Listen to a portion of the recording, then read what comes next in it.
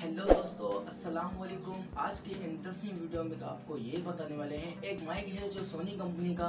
तो आज हम इसको चेक करने वाले हैं सोनी कंपनी का माइक है, जो यूट्यूबर के लिए बहुत खास मन होता है। यूट्यूबर के लिए जो फेस की वीडियो बनाते हैं, जैसे कि मैं बना रहा हूँ वीडियो इस वीडियो बनाने के लिए आपको बेहतरीन ये माइक मिल जाता है, जो कम पैसों में मिल जाता है। आपको ये ज़रूर लेना चाहिए।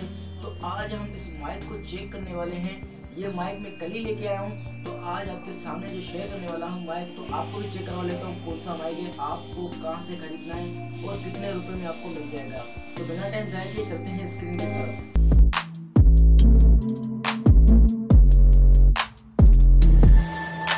कि आप देख सकते हो, हमारे पास ये सोनी कंपनी का माइक हमारे पास मौजूद है। जिसे कि आज इसको खोलने वाले हैं, हम आपको चेक करवाने वाले हैं। मैं इसको माइक को कल ही लेके आया हूँ। तो आपको चेक करवाने वाले हैं, ये माइक कैसा है। तो इसको खोल लेते हैं पहले इस माइक को। जैसे कि मैं इसको खोल रहा हूँ। इसके अंदर आपको ये डब्बा मिल जाता है और इसके पीछे आप देख सकते हो, पढ़ भी सकते हो, इसके पीछे आपको क्या क्या लिखने इसके अंदर क्या क्या आपको मिल जाते हैं फीचर इसके बाद इसको डब्बे को साइड में रख लेते हैं। इसके बाद इस इसके अंदर जो पड़ा हुआ है, ये हमारे पास माइक है। जो ये माइक आपको बता रहा था, ये माइक है सोनी कंपनी का। जो मैंने फेस वाली वीडियो बनाई थी, ये इसी माइक की रिकॉर्डिंग थी। आपको रिकॉर्डिंग कैसे लगी तो मुझे कमेंट्स में ज़रूर बताना, ये माइक आपको कैसा लगा। तो इस माइक को हम चेक करने वाले हैं, जैसे कि मैं इसकी रिकॉर्डिंग करता हूँ, जैसे कि आपको कौन से भी सॉफ्टवेयर में चले जाता हूँ, जैसे कि इसको अभी ऑफ़ कर लेते हूँ वीडियो को।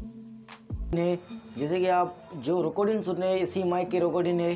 तो आप मुझे कमेंट्स में ज़रूर बताना, ये आपको माइक कैसा लगा और ये माइक के अंदर जो आपको क्वालिटी जो लगी, ये आपको कैसे लगी? मेरे पास पुराना माइक भी है जो आपको वो भी दिखाने वाला हूँ। उसका मेरे को नाम नहीं पता, वो मैंने ऐसे ही ले लिया था। जो ये मेरे पास पुराना माइक भी पड़ा हुआ है जो आप देख सकते हो। ये भी मेरे पास बहुत पुराना माइक पड़ा हुआ है, जो कि ये आप देख सकते हो, इसके ऊपर जो कपड़ा लगा होता है, वो कपड़ा लगा भी नहीं हुआ। तो ये माइक है जो सोनी कंपनी का ये माइक बहुत मुझे अच्छा लगा और आपको अच्छा लगे तो मुझे कमेंट्स में ज़रूर बताना।